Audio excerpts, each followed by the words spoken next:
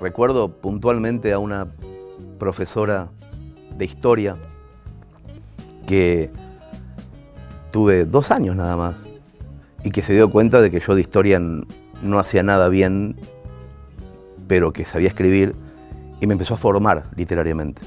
Todos los días venía y nos decía, hoy la historia está pasando hoy. Y venía con un diario que sacaba Fontevecchia, que se llamaba el Diario de las Juntas, y Cristina Rollero, mi profesora de historia, llegaba a la clase en contra de todas las autoridades del colegio, de todas, ¿eh? y decía, la historia está pasando hoy. Abría el diario y nos empezaba a leer cosas que nos ponían la piel de gallina y que no sabíamos. A mí me formó.